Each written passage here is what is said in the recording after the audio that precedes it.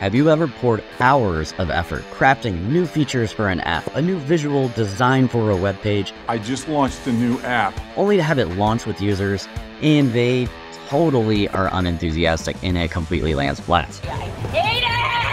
We think our ideas will work just as we imagine them and be just as successful as we predict. So, what do we do?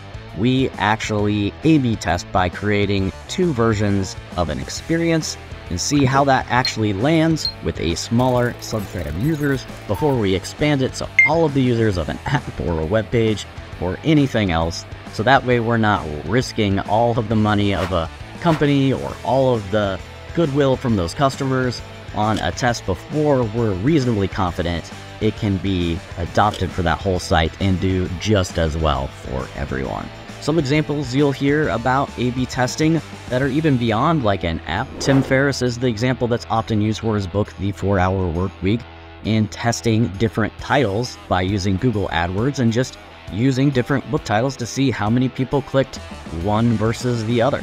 Another example often used is Derek from Veritasium testing YouTube video thumbnail options of a effect called the Magnus effect of a basketball.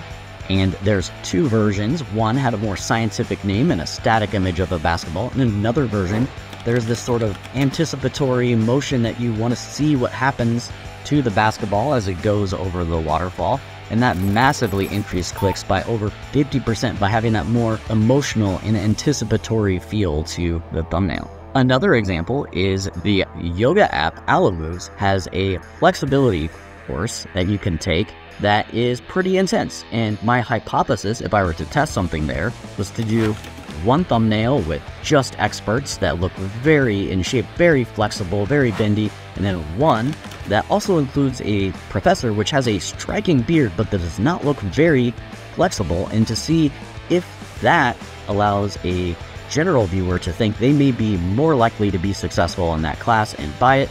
So we'll have to run the experiment and see.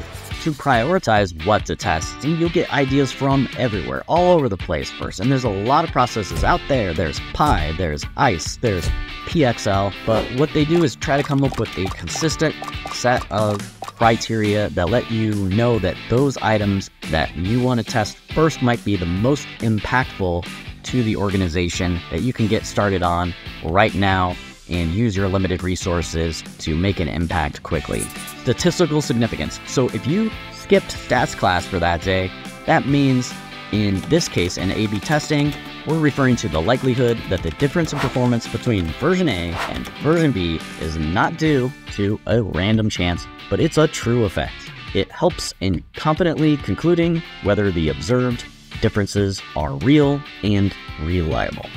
Now, you don't always want to A B test. There are some scenarios where you don't necessarily want to. You need to have enough units, mostly users, in order for the statistics to work out. Start experimenting when you're in the tens of thousands of users. You'll be only be able to detect large effects. And then once you get to 200,000 users, then the magic starts happening. There are also a ton of A B testing watch outs. You want to make sure that metric is something that is easy to move, but super important. It needs to be a metric that actually matters.